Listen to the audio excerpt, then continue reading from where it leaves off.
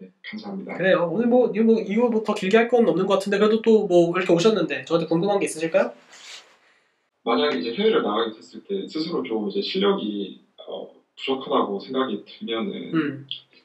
그때는 좀 되게 힘들 것 같은데 어, 교수도 그런 적이 있으실 야, 그럼, 있을 수도 그럼요. 있을 것 같고 그때 이제 어떤 식으로 조금 멘탈을 관리하고 앞으로 나가야 되는지 음, 항상 항상 그렇게 생각하죠. 뭐 시험이 잘 안 되거나 해석이 잘 안 되거나 문제가 풀리지 않을 때 사실 어제도 저도 계속 문제 하나 풀고 그때 그것 잘 안 풀려가지고 생각하는 거랑 좀 다르게 계산이 돼가지고 왜 이런 거지 이러면서 계속 걱정하면서 왔는데 근데 그게 결국 연구자의 숙명인 것 같아요. 계속 하면서 어, 네 항상 챌린징한 부분이 있고 내 실력이 정말 한없이 부족하다는 생각이 많이 들죠.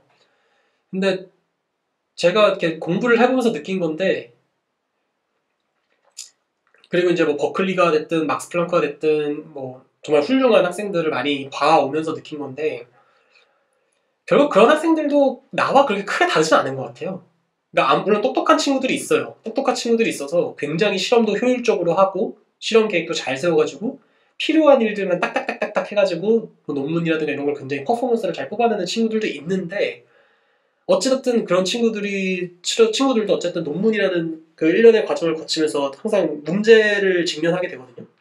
그럴 때 자기가 갖고 있는 어떤 능력에 대한 한계를 분명히 느낍니다.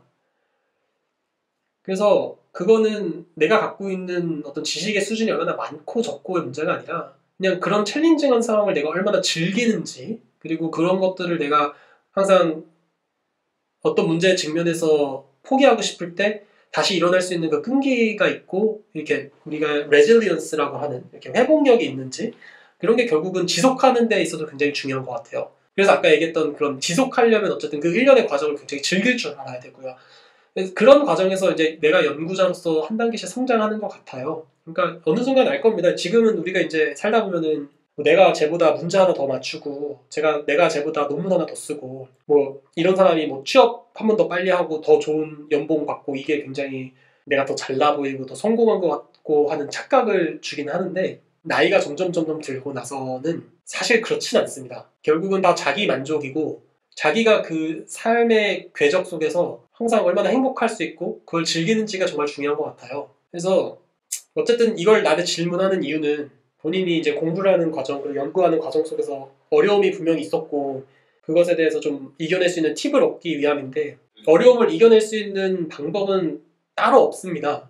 그냥 시간이 해결해 줄 거예요. 그거를 뭐 해결하기 위해서 뭐 꿀팁 같이 뭐 누구에게 조언을 구한다든가 아니면 뭐 어떻게 뭐 생각하는 사고를 어떻게 한다든가 뭐 이런 세세한 디테일한 액션 플랜은 뭐 각자 갖고 있겠지만 그 내가 갖고 있는 노하우나 팁이 다른 사람들에게 적용되지도 않을 뿐더러 뭐 의미는 크게 없고요. 그냥 시간은 해결해 줄 거고 하나 확실한 건 지금의 어려운 그 시간이 잘 이겨내고 내가 그 궤적 속에서 계속 위치에 있다면 큰 자산이 돼서 정말 나중에는 어, 무엇과도 바꿀 수 없는 귀중한 경험이 될 겁니다. 음, 뭐 수많은 예를 들수 있지만 제가 예전에 ACS Applied Materials and Interface에서 논문을 썼던 그 컴포짓 관련 내용이 있는데 그 실험이 1년 동안 안 됐었어요. 음, 아마 근데 제가 이렇게 보니까 그거를 했던 사람한테 물어봤으면 되게 바로 해결할 수 있었던 내용이었을 것 같아요. 근데 제 주위에는 그런 연구를 하던 사람이 없었고 그 연구가 굉장히 어려운 연구도 아니었는데 그냥 분야가 달라서 그랬던 거예요. 우리 연구실이 그쪽 분야를 하고 있지 않았는데 내가 그쪽 분야를 어쩌다 보니까 하게 되었고 그 방법을 모르다 보니까 1년 내내 실패만 계속하는 그런 상황이 계속 생겼는데 1년 동안 계속 실패를 하고 좌절하고 싶고 정말 때려치고 싶은 순간이 한두 번도 아니고 교수님도 막 이제 잘 안 되니까 막 펀딩 갖고 협- 협박 아닌 막 압박도 막 들어오고 굉장히 빡센 하루하루가 있는데 뭐 여기저기서 논문 찾고 여기저기서 방법을 하고 실험을 안 돼도 계속 반복하고 하다 보니까 어느 순간 그게 작동을 했고 이유가 뭔지는 모르겠는데 무슨 논문이었는지 모르겠지만 갑자기 어느 순간 어떤 방법을 써보니까 그게 되었고 그 방법 자체가 결국은 키 메시지가 되어서 논문이 논문으로서 이제 작성이 될 수 있었죠. 그래서 이걸 보면서 제가 느낀 거는 아 이게 뭐 어려움이 있을 때 뭐 누구와 얘기해봐라 뭐 뭘 해봐라 이게 중요한 게 아니구나. 어려움은 항상 있을 거예요. 항상 있는데 그게 언젠가는 나에게 큰 자산이 될 거라는 걸 믿고 그 챌린징한 것을 내가 즐기는 게 중요하고 문제점을 직면할 때 내가 꺾이지만 않으면 될 것 같아요. 그래서 항상 긍정적인 마음으로 그냥 이 연구나 학업의 일련의 과정을 잘 즐기는 그런 마음으로 하루하루를 사시면요. 성실하게 사시면요. 아마 보답받는 일이 있으리라 믿어 의심치 않습니다. 그래서 그 정도로 답변을 드릴 수 있을 것 같아요. 네네. 정말 감사합니다. 음. 그러니까 참 그래요. 그러니까 우리들은 어느 순간부터 인터넷이 막 생기고 뭔가 이렇게 정보를 찾는 거에 굉장히 익숙해요. 근데 이게 어려울 때 이겨내는 방법 이렇게 검색하면 잘 안 나오잖아요. 그러니까 저한테 이게 물어본 거겠죠. 근데 그런 건 없어요. 어, 그냥 그런 방법은 없고요. 그냥 이렇게 즐기십시오. 예, 저도 저도 어제 어제 딱 그런 생각을 하면서 집에 왔어요. 이게 안 되는 걸 보면서 아 뭐 뭐 내일 되겠지, 뭐 내일 모레는 되겠지 이러면서 왔고요. 한편으로는 또 아 참 공부를 참 오래 했는데 예, 이게 참 안 되네. 안 되는 게 참 많다. 근데 이게 지금 이 안 되는 시점이 안 되기만 한 게 아니라 이전에 수많은 문제점이 있었거든요. 근데 문제점이 있었는데 이렇게 하니까 되는 거예요. 어우씨 됐다. 막스 플랑크에서 이제 실험할 때 새로 완전 새로운 거 연구하거든요 요즘은. 그래서 와 됐다 해서 막 했는데 또 문제점이 생기는 거죠. 얼마 전까지 그게 해결이 안 돼서 진짜 힘들었거든요. 뭐 힘들어도 어때? 어떻게? 계속 해봐야지 뭐. 계속 해본 거예요 계속. 그러다 보니까 되는 거야. 아 그러면서 이 맛에 아 그렇지 될 줄 알았어. 내가 이거 될 줄 알았는데 이게 안 된 게 이거 안된 이것 때문이었구만. 이런 식으로 했는데 어제 또 막힌 거죠. 아씨 또 안 되는 거야. 그게 같은 문제가 안 되는 게 아니라 그게 해결되니까 다른 문제가 나오더라고요. 이제 그거를 또 이제 해석을 해야 되니까. 그러니까 그런 식으로 이제 앞으로 계속 challenge가 있는 것 같아요. 계단식으로. 그래서 아 그래 이거 뭐 이런 challenge를 즐기는 게 내 숙명인가 보다. 그리고 내 PI랑도 이렇게 discussion을 해보면요. 그걸 좋아해요. 그, 그런 상황이 있는 걸 좋아하던데? 그러니까 막 내가 예를 들어서 데이터를 분석을 해서 발표를 했더니 어, 저건 말이 안 된대. 이거는 상식적으로 이게 이렇게 될 수가 없는데 이게 된다고? 교수가 나한테 그랬어요. 그래서 내가 다시 한번 분석을 해보겠다. 근데 일단 분석한 걸 봤을 때 이런 현상이 나오더라. 그러니까 이건 굉장히 intriguing한 problem이고 이건 굉장히 좀 reasonable하진 않지만 알겠다 이러면서 미팅을 끝냈는데 다음날 우리 PI가 메일을 나한테 주어주더라고. 어제 했던 discussion에 대해서 내가 생각을 좀 해봤는데 이러면서 나한테 쫙 메일을 써가지고 보내줬는데 난 그걸 보면서 느꼈지. 아, 세계적인 과학자나 PI들은 이런 intriguing한 문제점을 딱 직면할 때 이거 굉장히 재밌게 푸는구나. 그러니까 자기의 생각을 이렇게 적어서 나한테 알려주고 나도 거기에 이제 해서 거기에도 오류가 좀 몇 개 있더라고요. 그래서 그런 것들 또 build up 해놔서 또 discussion을 하고 결국 이게 리서치거든요.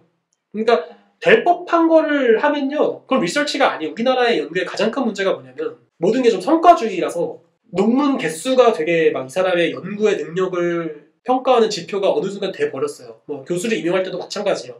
물론 논문이 많으면은 좋을 수도 있는데 한번 생각을 해보면은 이게 이게 될 법한 연구를 해서 돼서 논문화가 돼서 많다는 게 과연 이 사람이 연구를 잘하는 걸까요?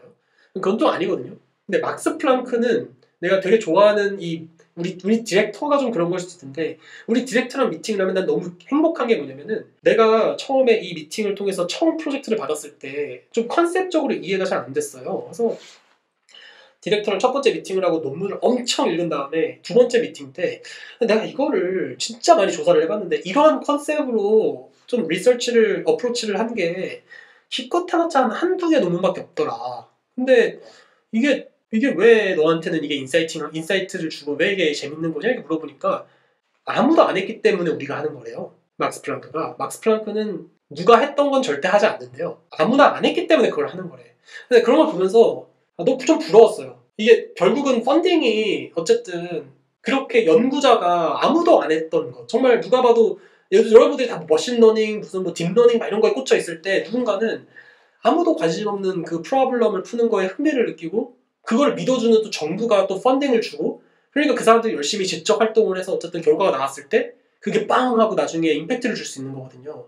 예를 들어서 여러분들이 지금 코로나 때문에 힘들었지만 그 COVID 백신 중에 파이저나 뭐 모더나 백신이 사실 mRNA를 쓴 백신인데 mRNA라고 하는 그 백신이 결국 쉽게 얘기하면은 그 지질층 같은 거를 drug delivery 그 성분 안에다 입혀가지고 좀 더 안전하게 targeting해서 drug delivery를 할 수 있게끔 하는 그 시스템을 구축을 한 건데 그 mRNA로 이렇게 selectivity하게 이렇게 지질층을 형성할 수 있게 된 그 시작은 굉장히 몇십 년 전부터 protein 그 sequence 연구한 어떤 그 수많은 과학자들과 연구자들에 의해서 된 거거든요.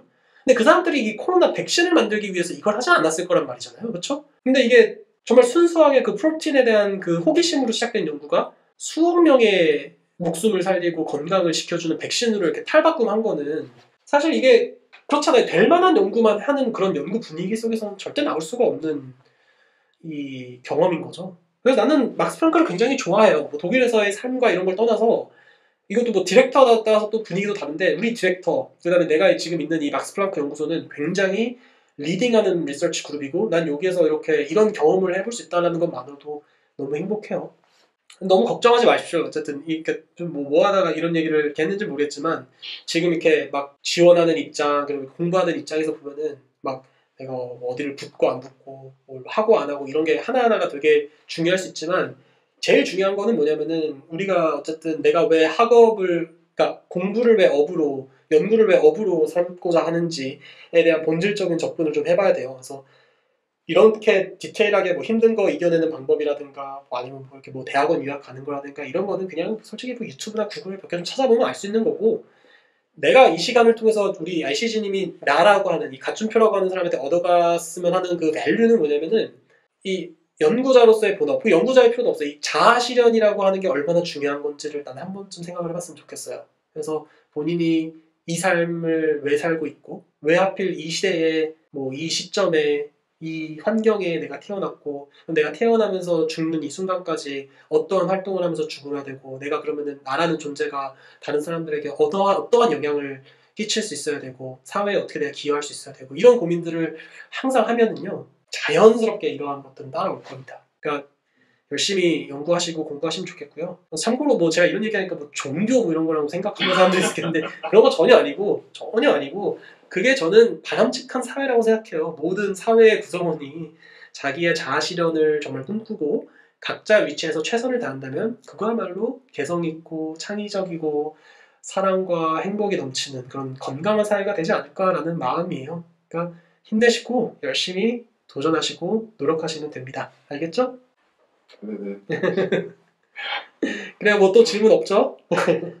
네네네. 감사합니다. 그래요. 오늘 좀 여러모로 오래 기다리셨는데 도움이 좀 됐기를 바랍니다. 도움 됐죠?